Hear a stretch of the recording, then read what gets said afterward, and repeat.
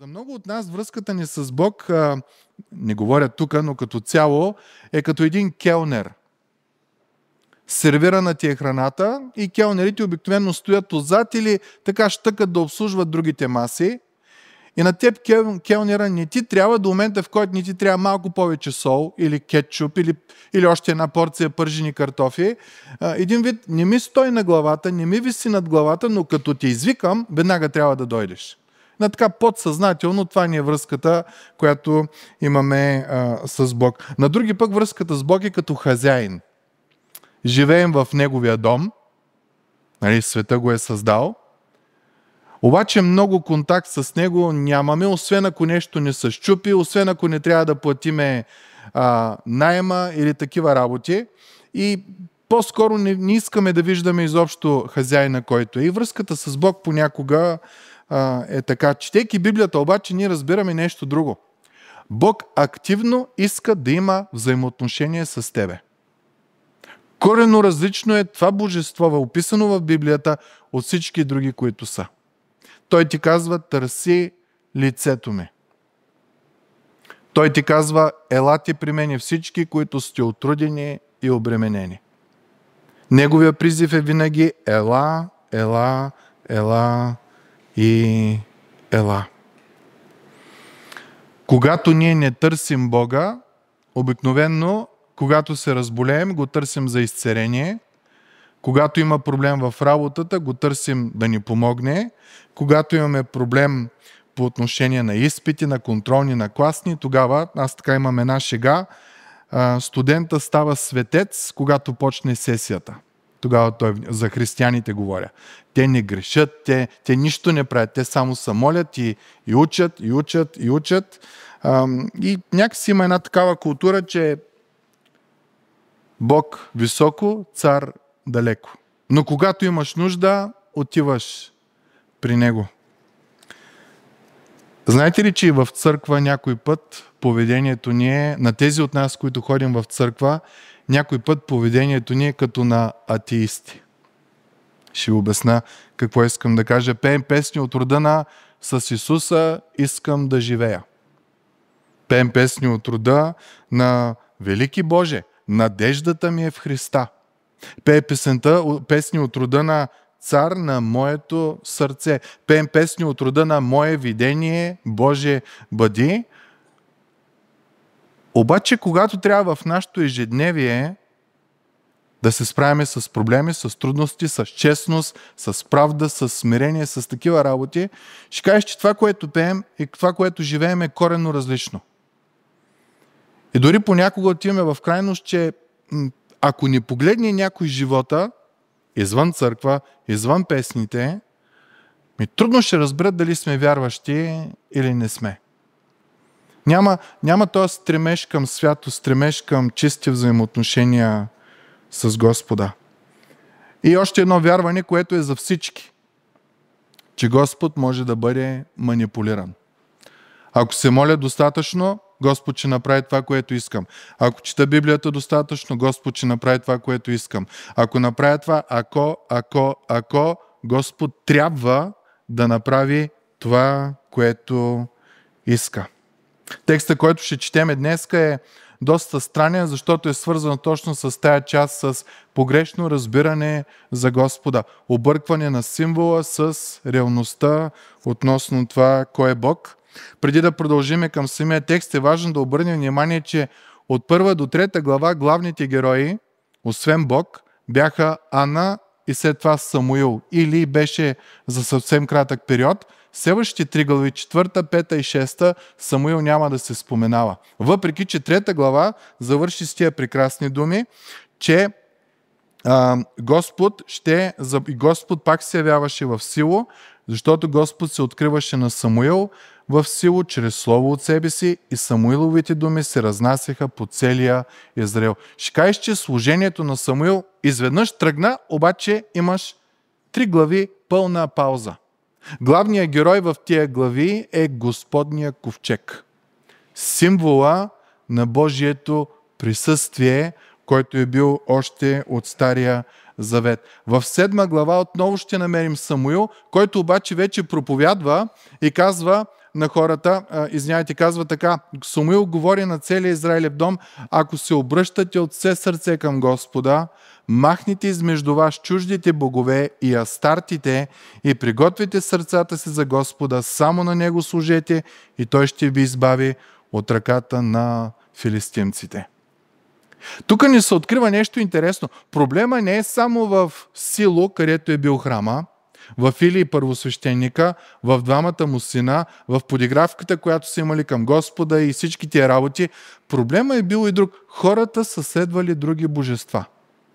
Тук текста ни казва, махнете чуждите богове и астартите, това са статуите на чуждите богове, най-общо казано, и сърцето ви да не е натам, сърцето ви да бъде към Господа. Та, най-вероятно през цялото това време, дори на тия три глави, които няма да се говори за Самуил, сигурно това е била неговата проповед. За народ, който не е имал цар и всеки е правил каквото му се вижда добре в неговите очи. С храма са се подигравали, с жертвата са се подигравали, едни други са се цакали, а, вярвали са в чужди богове, строили са си статуи и какви ли. Просто е било един ужас сред Божия народ. В това време Самуил трябва да бъде призован и да проповядва. Никога не трябва да забравяме молитвата на Ана, защото тя е като Тия два стиха са като рамката, в която ще върви цялата книга Първо царе. Няма друг свят, какъвто е Господ. Защото няма друг, освен теб, нито канара, като нашия Бог. Не продължавайте да говорите горделиво, да не излезе високомерие от устата ви, защото Господ е Бог на знание и от Него се притеглят делата. Никой не е свят като Господа, защото няма друг освен Теб, няма скала като нашия Бог. Това е, това е рамката, тези два-три стиха е рамката на цялата книга Първо царе, върху която ние ще се спираме. Та, имаме народ, който си прави каквото си иска. Господ на два пъти изказва предупреждение и наказва, изказва съд. Помните в началото или дочу, че хората говорят тези работи за синовете му. Това е първото предупреждение. След това Бог прати Божи човек, ни казва текста, безименен, който директно му каза какъв е проблема. Отново или нищо не направи и след това Господ се яви на Самуил и му каза това смразяващо пророчество, което ние прочетахме миналата сряда. Та Господ по всякакъв начин работеше сред хората и ако до тогава е мълчал, сега започва наистина да говори. Текста, който ще разгледаме, започва така. В това време Израил беше във война с филистимците и разположи стан близо до Евенезер, а филистимците разположиха стан в Афек. Сега, да обясниме каква е ситуацията. Земята, за която става въпрос, е обещаната земя. Това е земята, която Господ е дал на еврейския народ. Тя в момента е отчасти окупирана или атакувана от филистимците. И Божия народ е в пълното си право да се защити, като иска да ги отблъсне. тая битка, която ще се описва през целият този текст, първо е угодна, правилна е, ти се защитаваш земята. Второто е, това е нещо, което Бог ти е го е дал и ти искаш да си го защитиш.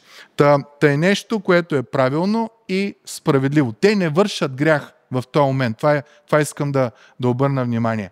Събират се на стан, идват филистимците, се опълчиха против Израил и когато започна битката, Израил се разбягат през, през филистимците и около 4000 мъже бяха убити на полесражението. Това на военен термин може да се опише като разгром. Не само избиват голяма армия, но и разпръсват армията. Тя не се оттегля разгромена, ами тя буквално се е разбягала. И идва логичния въпрос. Ние сме Божи народ, живеещи в Божията земя, обещаната земя, защитавайки нашата земя, каузата ни е справедлива, каузата ни е правилна. Защо ни се случва това нещо? Защо ни порази Господ днес пред филистимците? Обърнете внимание, богословието им е правилно. Никога Господ не позволява народа му да бъде унищожен. Тоест, никога никой народ не може да превземе Израел, ако Господ не позволи това нещо. Книгата Данаил започва по този начин. Господ предаде в ръката на Навуходоносор, израелския цар и целия Иерусалим. По същия начин те казват тук, защо Господ ни порази днеска срещу филистимците? Ако сме си чели Стария Завет, знаем защо. Господ беше им дал ясни указания. Ако ме следвате, ако изпълнявате това, което ви казвам, тези заповеди са животът ви, ако ги изпълнявате, ще дойде благоденствие. Ако не ги изпълнявате, няма да дойде благоденствие, а ще дойдат трудни дни. Вижте какво казва. Ако не ме послушате и не изпълнявате всички тези мои заповеди, и ако отхвърлите наредбите ми, и ако душата ви се погноси от законите ми, за да не изпълнявате всичките ми заповеди, а нарушите завета ми, ето, какво, а, ето как ще постъпя. Ще обърна лицето си против вас и ще бъдете избити пред неприятелите ви. Онези, които ви мразят, ще владеят над вас и ще бягате, когато никой не ви гони. И ако при всичко това не ме послушате, тогава ще ви накажа седмократно повече за греховете ви ще струша гордата ви сила. Едно много ясно предупреждение от Господа към Неговия народ. Хората се задават въпроса, защо Господ ни порази днес пред филистимците. Ние знаем отговора. Поне на два пъти Господ беше дал предупреждение, че нещата не са добре. При свещенството на жертвата се подиграват, Господа ритат срещу Господната жертва, подиграват се с Божия народ, самите свещеници, които са на власт, нито обичат Господа, нито познават Господа. И този, който имаше по човешки власт да ги отстрани, той само им каза, защо правите така? Господ ще възсъди. Когато имал пълната власт директно да ги премахне от това състояние. Сега, Въпросът, който те си задават, защо не порази Господ днес пред филистимците, е въпросът, който ти и аз трябва да си зададеме. Какъв съвет бихте дали на евреите по това време? Какво ще им кажете? Вие знаете цялата история.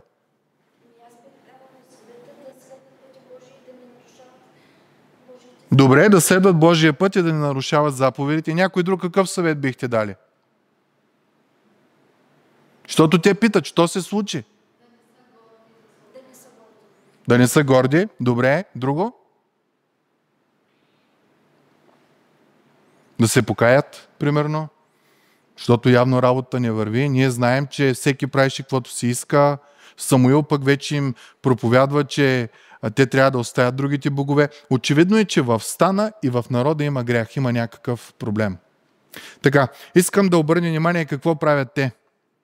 Те казват, нека донесем тук ковчега за плочите на Господния завет от сило, така че като дойде сред нас да ни избави от ръката на неприятелите ни.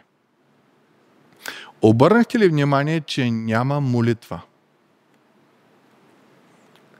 Няма молба за милост. Те осъзнават, че това, тази загуба е от Господа, Господ е позволил, ми естественото, което е Боже, смили се над мене грешника. Господи, покажи милост. Господи, заради името си. Няма молитва, няма покаяние, няма желание да поискаш Божията милост, няма, как да кажа, допитване до Господа. Господи, какво да правим? Ще стигнем по-нататъка до най-великия им цар Давид, ще видите там, той постоянно питаше Бог, да изляза ли, да не изляза ли, какво да правя. Постоянно имаше връзка. Той осъзнаваше, че вън от него, вън от Господа, нямаше добро нито за него, нито за народа му. Между другото, какво се случва? Това се нарича манипулация. Ще докараме Господния ковчег. И като дойде сред нас, да ни избави от ръката на неприятелите ни. Интересното е, че текста, както е написан, предмета, този, който ще дойде сред нас, да ни избави от ръката на неприятелите, не става въпрос за Бог, а става въпрос за ковчега. Предмета. Ковчега е бил един съндък, в който са били десете заповеди, част от манната и а, а, жезъла на, на Арон. Сега, този ковчег е а, хубаво нещо. Господ заповядва на Моисей да го направи. Това не е някаква измишотина, която Моисей си прави. Господ заповядва да го прави и казва следното, там ще се срещам с тебе и отгоре на умилостивилището между двата херовима, които са върху ковчега, с почтя на свидетелството, ще говоря с тебе за всичко, което ще ти заповядам на тебе и на израелтяните. Та наистина има огромна символика в ковчега. Господ казва, това ще е символа на моето присъствие. Това ще е място, където аз ще се срещам с тебе. Обаче Моисей в самата в самия му начин на живот ние разбираме, че Моисей не се е кланял на ковчега. Вижте какво казва числа 10 глава. Всяка сутрин и всяка вечер какво е ставало. Когато ковчега се вдигаше на път, т.е. взимат стана и тръгват на път, Моисей казваше, стани Господи, не стани ковчего, стани Господи и да се разпръснат враговете ти и да побегнат пред тези онези, пред те понези, които те мразят. Интересна ситуация, нали? Имат проблем, огромен проблем, осъзнават, че Господ е против тях и вместо да се смират, вместо да поискат помощ, да поискат прошка, да поискат милост, да се допитат до Господа, те решават да вземат нещата в свои ръце и той излиза като манипулация на Господа. Ние правим ли такива неща? Някой път, когато стане трудно в живота ни, трудно в взаимоотношението ни с Бога, някои от нас започват да идват много редовно на служба. Не изтърват служба. Ще кажеш, че има едно вътре в нас, ако сега това аз направя, Господ ще погледне благосклонно към мене. Някои започват да даряват повече от това, което правят. Защо? Ми той като види, че давам повече, и той ще ми даде повече, и той ще ми помогне в моя живот. Други започват да участват в различни служения, я хваление, я каквото и да е, като идеята каква е, абе, Господи, виж ма, аз съм тук, Нали? Спомняте си, преди време говорихме за тази ситуация, където ам, човек казва, Боже, аз бях на църква, не знам дали ти беше, но, но аз бях на църква. И един вид, ето аз натрупвам точки, точки, точки. Между другото, Давид няколко глави след това ще има подобен проблем. Знаете там огромното му грехопадение с Вицавее, как прелюбодейства с нея, след това как уби а, съпруга й, и накрая са ожени за вдовица, която е изоставена, която мъже е загинал в битка. Нали? Това е пред хората, което се знае. И Давид мълча 9 месеца. Представете ли си? Човек по Божието сърце 9 месеца мълча за този грях. Не го изповяда. Беше се залъгал. Господи, да, омазах се, убих. Между другото, греха на Давид по закона заслужаваше смъртно наказание, греха на Саул по закона не заслужаваше смъртно наказание. Но Саул беше отхвърлен от Господа, Давид не, защото Давид се покая. Но Давид се беше така тръгнал да манипулира Бог ми, аз се ожени за вдовицата, следователно Господи, нали, злото, ама и доброто, което съм направил. Везните Везните някак си се изравняват. И без да искаме, живеем такъв начин на живот. Сега ще направя повече, ще дам повече, ще ходя по-често и всякакви а, такива неща. И какво се получава? Какъв е проблема на такъв начин на мислене? Проблема на такъв начин на мислене, мили брати и сестри, е, че вярата в Бог е заменена с суеверие. Суеверие, че ако дойда повече на църква, Господ ще е по-милостив към мен. Суеверие, че ако чета повече Словото, Господ ще покаже специална благодат. Суеверие, суеверие, суеверие. И това не са лоши работи. Проблема е, когато го правиш, за да получиш нещо. Както израелтяните. Ще вземем ковчега. Той е символа на Божието присъствие. Бог никога няма да позволи ковчега да бъде превзет. Що? Защото това е основата на, на връзката ни с Него. Най-важният символ. Следователно, ще извием ръцете на Бога. Обръщи ли внимание как няма капка покаяние? Много често така и при нас. Изпадайки в тая крайност на суеверие, която преди малко говорихме, ние забравяме най-важното и единственото нещо, което има сила пред Господа.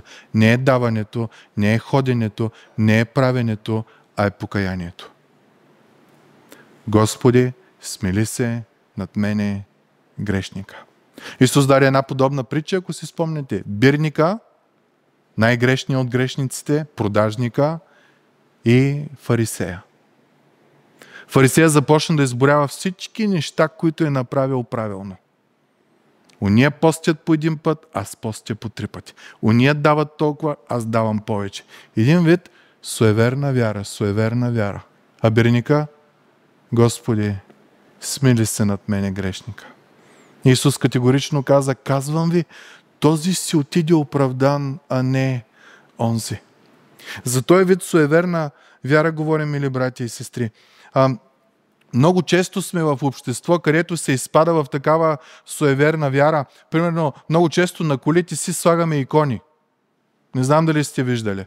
Особено ако по таксита отидете на е, една икона има такава, те са съвсем малки, които им е, така висат от, от огледалото. Защо? Ми да ги пази. Ма кой пази? Иконата ли пази или, или Бог пази? Суеверна вяра. Разбирате ли? Няма покаяние. Няма жажда за връзка с Господа. Някой път се слагаме а, такива неща дори в портфела. Защо? Ми да бъдат благословени парите. И всякакви такива работи. Суеверна вяра. Никой не търси Бога, всеки търси лесното. Някой път си слагаме а, такива медальони на, на някой светец, на Свети Георги, да ма пази от злото или такива неща. А, на други места си слагаме, това между другото на дановистите, пентаграмата – така се казва и над нея те трябва да разсъждават ден и нощ, за да, за да им дойде просвещението, което трябва. Никъде не се говори за покаяние, никъде не се говори за жива, за истинска връзка с Господа. В даден момент има дори пръстини, тук ни се казва Боже, съхрани и спаси. И хората ги носят и няма ходене на църква, няма покаяние, няма такива работи, но ти носиш пръстен, на който е написано Бог да ти помага и Бог да те благославя в живота ти. И това не е нещо ново. Това, между другото, от втори век. 200 години след Исус Христос са били написани много често на листче хартия стихове от Божието Слово, в което в тая специално в, в този файл пише човека да бъде пазен от скорпиони, от змии, от зли хора и такива неща. И два-три цитата от Библията. Обърнете внимание, цитатите около Библията са така написани около кръст, в кръстна форма, нали, суеверието е много голямо. Свива се на такова нещо, слагаш го в една кутийка или на сърцето, или като ключодържател можеш да си го сложиш както ние слагаме картинки на ключодържателите. И това ти е било защитата, която си имал пред Бога няма покаяние, няма търсене на Господа, объркваш символа с реалността. Това направи Божия народ. А най-модерното е червеното конче. Ама има и по-модерно. Има червено конче с кръст на него. Да може да покриеш всичко. Да не би някъде да се издъниш. И, и другото ние го говорихме. Да идваш по-често на църква, да даваш повече, да се включваш, да се втурваш такива докато проблемът ти е решен. Обикновено така става. А, и изведнъж разменяш Бог за суеверие спрямо Бог. Идва, идва проблем, който не е хубав. Текста казва, и така народът изпрати вестоносци в сило и донесоха оттам ковчега на завета, на Господа на силите, който обитава между херовимите. Вижте какво прекрасно обяснение. Ковчега на завета на Господа на силите, който обещава между херовимите. И двамата, Илия, Висина, Офни и Финеес, бяха там с ковчега на Божия завет. Буквално какво правят хората? Защо Господ ни разби? На никой не му дойде на акъл да се помоли. На никой не му дойде акъл да попита Господа. Те се питаха един друг. На никой не му дойде на акъл, бе, може би трябва да се покаем. Не. Ще вземем съндъка. Ще вземем ковчега. На Господа на силите, където са херовимите. И Господ ще ни помогне и ще ни даде силата. И обръщате внимание как те заменят почета към Бога с почета към предмета, който е символ на Бога. Правим ли го, правим ли го ние това нещо? Знаете ли, че някой път дори с кръста правим това нещо? Аз познавам хора, които си слагат кръст, носят кръст, да ги пази от зло. Това е суеверие. Това не е вяра.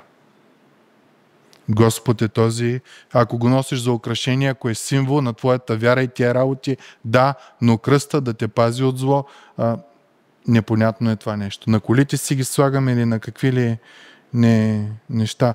Разбира се, че да, да уважаваш ковчега и да уважаваш Господа е нормалното нещо, правилното нещо, но да отхвърлиш Господа и да се хванеш за предмета, осъзнаваме ли колко сме крехки хората?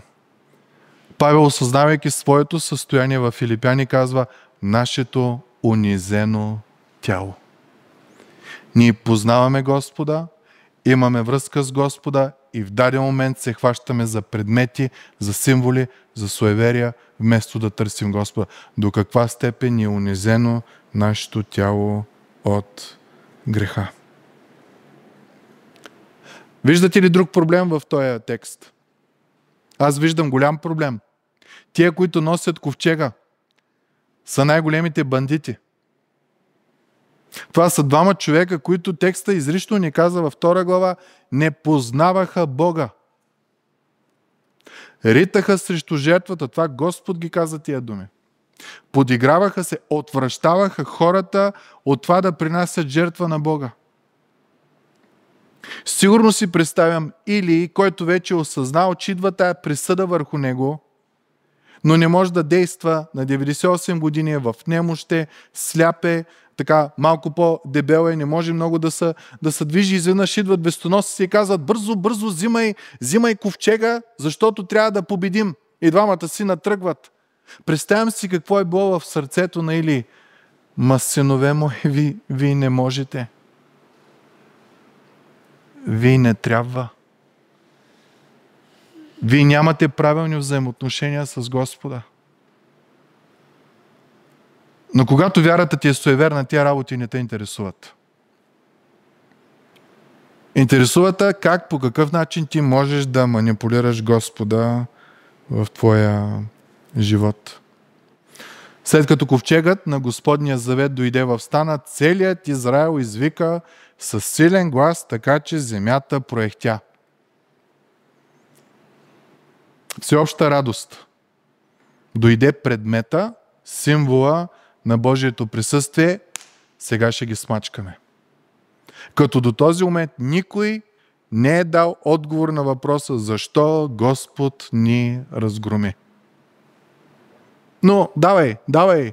Важно е везните в твой и в мой ум. Везните да се изравнят между доброто и между злото по всякакъв възможен начин. Обаче виждаме в историята, че и филистимците не се предават. Вижте в началото какво става. Като чуха шума от викането си, казаха какво значи това шумно и силно викане в стана на евреите. И научиха, че Господния ковчег е дошъл в храма. Значи това са езичници. За тях предметите, суеверието е много важно. Та те си казват, дойде оръжието на техния бог, с което ще наразгроми. Тогава филистимците се оплашиха, защото си казаха, Бог е дошъл в стана. Горкони, защото такова нещо не е ставало до сега. Господния ковчег не е бил взиман за набитка, освен при Ерихон. Горкони, който ще ни избави от ръката на тези мощни богове. Тези са боговете, които поразиха египтяните с всякакъв вид напасти в пустинята. Спомняме се за изхода. Най-великата империя, Господ нямаше никакъв проблем да я срине, за да покаже на фарон кой е истинския Бог. Интересното е, че по време на това нещо, стих 8 нататъка Горкони, става въпрос за момент от историята, когато няма ковчег все още. Ковчега е после направен. Но осъзнаваме паниката, страха, който е в, в а, филистимците. Обаче, обаче продължава с нещо много интересно. Укрепете се, филистимци, бъдете мъжествени, за да не станете слуги на евреите, както те станаха на вас.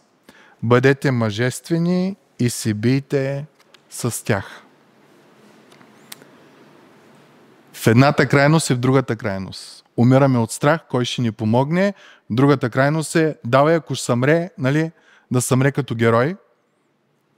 Знаете ли, като четах този стих, си казах, Сигурно в ума на някой филистимски такъв разбирач на богословие, може да не вярва в Бог, ама сигурно си казва, ако трябва да го донесат този Бог техния на битката, ти означава, че той не е вездесъщ, той не е навсякъде.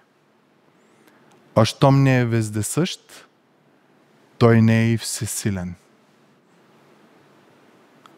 Затова айде в битка. Осъзнавате ли? Когато ти тръгнеш с суеверие и такива работи, ти буквално казваш на хората, че твоя Бог е ограничен.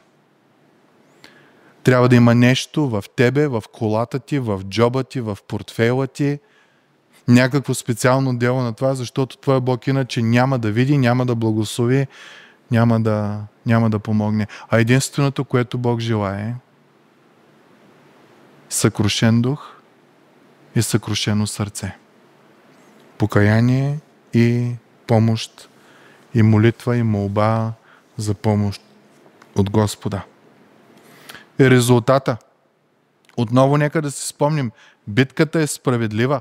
Това е обещаната земя. Филистимците, те сами си казаха, да не сме слуги, както те са ни на нас, т.е. те са ги поробили. Та това е битка за свобода, с правилна цел – с правилна кауза. Вече имат и предмета, който ще им носи благословението. Вижте как продължава текста. Тогава филистимците влязоха в бой. Израел беше поразен и всеки побегна. Тук думата може да е в къщата си. Не в шатъра си настана бойния, ами директно в къщи си отишъл. Стана голямо поражение. Паднаха 30 000 пехотинци или пешаци от Израел. Първия път паднаха 4000. Те си казаха, работа не е добре, нека да вземем помощ. Е, като взеха помощ, почти 10 пъти повече. Ковчега помогна ли им на завета? Не им помогна. Мили братко и сестри, на тебе няма да ти помогне, ако в момент на трудност тръгнеш да пускаш повече, започнеш да четеш повече или това. На тебе ще ти помогне покаяние. Господи, прости ми. Прости ми, Господи, прости ми. Нищо не може да направите повече от това, което Христос е направил, за да впечатлите Бог. Не можем. Затова спасението ни е по милост, по благодат, Връзката ни с Бога е основана на Неговата милост и на Неговата прошка. Господ иска съкрушено сърце и разкаян дух. Само това. Иначе нещата стават още по-тежки. Тук от 4000 станаха на 30 000 загубите. И, и загубите станаха още по-тежки. Бъдете внимание на текста. И Божия ковчег беше пленен. И двамата Илиеви синове, Офни и Финеес, бяха убити. Ковчега го превзеха и те, които носиха ковчега, бяха убити. От една страна, този текст е доста страшен, защото ни показва, че Божието Слово не се изменя. Бог каза, че двамата ще умрат. Виждаме Божието Слово изпълнено. От друга страна е време на надежда, в което Господ изчиства пътя на, как да кажа, корумпирани свещеници по това време, защото от седма глава ще видим това чудно служение на Самуил, на пророк Самуил. Той е пророк и съдя, изпълнява роля на, на цари, на свещеники, на пророки на, и на всяка една част. Но смисъла на всичко това, което казваме, мили брати и сестри, е, че ковчега не им помогна. Колкото е да е бил прекрасен предмет, колкото и тежък да е бил символизма, че Господ е заповядал да се построи, то не е Моисей да си го измисли, че Господ е казал, че това ще е място, където ще се срещаме, но може да се стигне в момент, в който почита към Бога напълно да изчезне и да има почет и уважение към нещата, които са символ на връзката ни с Бога. Бог не става за подигравка, мили братя и сестри. Той текст ни казва това нещо. Обратно, пътя обратно към Бог е пътя на покаяние. Блудният син. Той си мислеше, че сам може да се оправи. И накрая какво каза? Бе аз какво правя тук? Да се върне. През целия път в ума му са били Татко, съгреших против небето, против тебе. Татко, съгреших против небето, против тебе. Беше научил тая фраза. И когато отиде при татко, той дори не му даря да, да изкаже цялата фраза. Че целувки, че прегръдки, че пръстени, че обувки, че най-хубавата дреха, че най-хубавата веселие, радост, веселие, радост. Защо? Защото той мой син беше загубен и се намери, беше умрял и оживя и се съживи. Каква по-голяма благодат! Та, мили братко и сестро, съвета тази вечер от Божието Слово към всеки един от нас е да не се опитваме да подкупваме Бог. Ако сме съгрешили, да не се опитваме да правим повече, за да се докажем. Няма да стане. Това е атака на Сатана, която ще ни срине. Това, което трябва е съкрушено сърце и разкаян дух. Господи, прости ми на мене грешника. И друго нещо от историята, което научаваме е, че а, двамата синове Офни и Финес бяха много зли, ни казваше текста.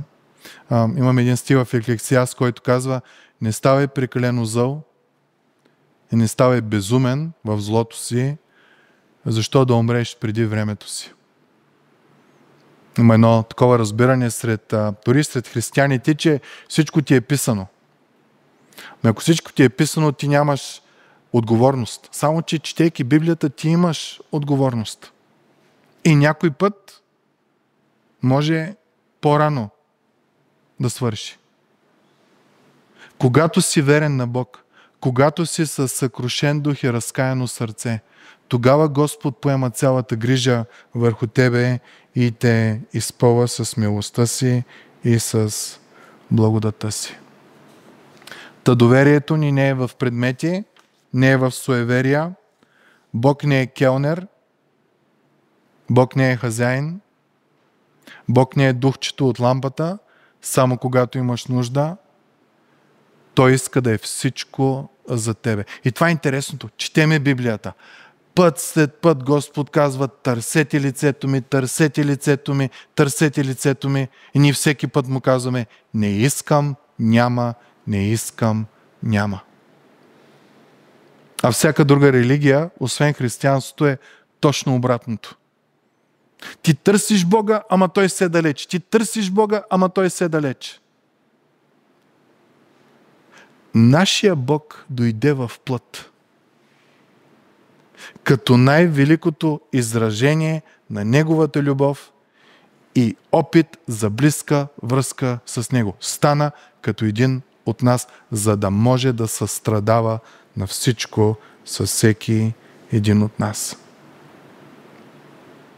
И да се върнем отново към тая група от хора, които са в църква, извън църква, които казват, че вярват в Бога, че обичат Бога, че следват Бога. Исус казва, ако ме обичате, ще следвате моите заповеди. На приказки може да си идеален.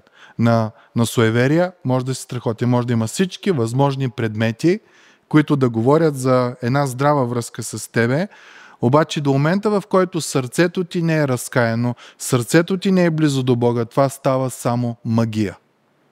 Магиосничество. Никаква сила няма в това нещо. И да не се осланяме на традицията. Традицията повелява всяка неделя на църква. В сряда, ако може. Но неделя на църква. И се пее, и се моли, и се слуша, и се стои. И в нашата църква има мъжко, има женско след това, има тинейджърско. Това е традицията, повелява. И на църква трябва да си смирен, изкъпан, подреден с най-хубавите дрехи. Но ако в сърцето ти не е Бог, това става едно суеверие. Господи, аз се изкъпах, аз дойдох, аз слушах, аз, аз бях тука. Не знам ти дали си бил тука, но аз бях тука. И сега очаквам да дойде Твоето благословение.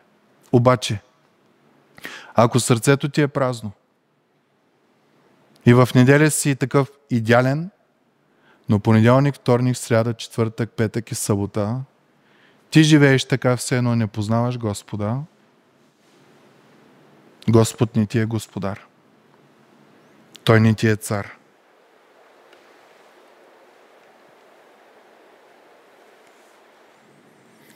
И завършваме с тия стихове отново от молитвата на Ана. Господ е Бог на знание. Той знае всичко за тебе. Никакъв амулет, никакво суеверие, никакво допълнително дело на напъване от тебе от мене не може да го излъже. Той гледа директно сърцето, не външното. Господ е Бог на знание и от Него се претеглят делата. И завършвам с една края на Матю Хенри. Това е един коментатор на Библията, който казва така през 18 век. Нека никой не мисли да се крие от Божия гняв под мантията на видимо покаяние, на видимо кръщение или направих това или направих онова. Никой да не мисли да се скрива от Божия гняв под мантията на видима изповед, защото ще бъде хвърлен във външната тъмнина, ще бъдат хвърлени във външната тъмнина онези, които са яли и пили в присъствието на Христос. Ако спомняте думите на Господа. Нека Господа ни благослови. И ако има в нас наченка на някакво суеверие, да изчисти, да я изповядаме. Той търси съкрушено сърце и разкаян дух. Нищо не може да дадем повече от нас, което да го впечатли. Нищо не може, мили брати и сестри. Всичкото го правим от любов, а не за да получим заслуги, значки или пчелички, както беше в детската градина. Нека Господа ни благослови. Ще прекараме време в молитва. И аз предлагам наистина първата молитвена нужда да е тази да изследваме живота си. Правим ли нещо, с което очакваме Бог да ни бъде длъжник? Дали е служение, където участваме, дали е самото ни идване на църква, самото ни четене, самото ни това. Правим ли го, за да може Той да даде повече или го правим, защото го обичаме?